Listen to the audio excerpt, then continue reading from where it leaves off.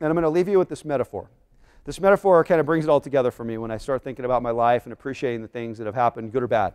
I created a car called life as a metaphor. And you can add to this. And if you have some good add additions, literally tell me after, because I've been building the car with all of you for about five years now. The metaphor of a car is you.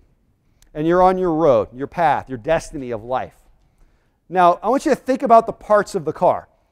You have the gas pedal that you control. That controls the speed and the tempo of your life. You can slow down, you can speed it up.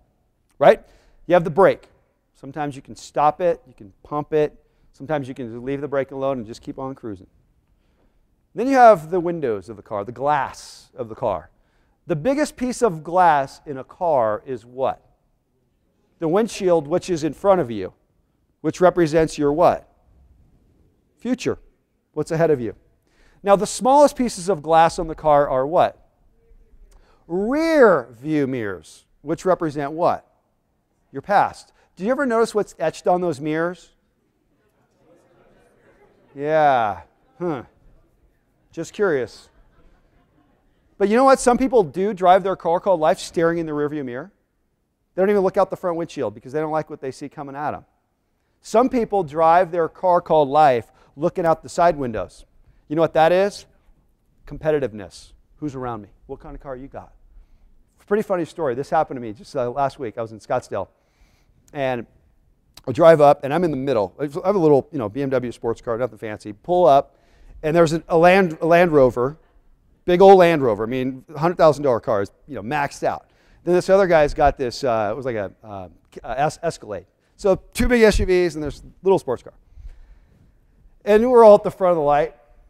I'm just looking ahead, and typically when I drive, I look ahead. I usually am not the guy that goes, I just don't live my life that way. And it literally, metaphorically, I live my life kind of living, looking to the future. But I just, for some reason, I could feel the energy of machismo and stuff like You're in Scottsdale too, by the way. This happens a lot. A lot of SUVs, a lot of machismo. So I look right and I look left. And it was just like this moment between guys. We're like, it's weird. Like, uh, you women don't do this. But I, I, asked my wife today when I was walking through the mall, I said, Do I have like this cool guy thing on me? Because guys will look, walk by and they're like, What's up? And then I'll watch some other guys where they, they don't even look up, they're looking down. Maybe it's just because I see people, but that's what we do as guys. We kind of acknowledge each other. I don't know what the hell it means, but we have this subconscious thing that we want to do with each other. Am I right? What's up? What's up? He saw me, he did it to me, he did it. See, when you do it, you got to do it back, right? It's like a handshake. You can't put out your hand and not put the other hand back. So you have this moment, and I started thinking about the metaphor in this moment. I thought, you know what, this is pretty funny. I bet the, that's how these guys are. These guys are probably pretty competitive. They're actually looking over me at each other, looking at each other's SUVs, because I got a little BMW. This guy's got these maxed out SUVs. And there's just this acknowledgement when we drive our cars called life and we see things around us. And that's how we gauge where we're at.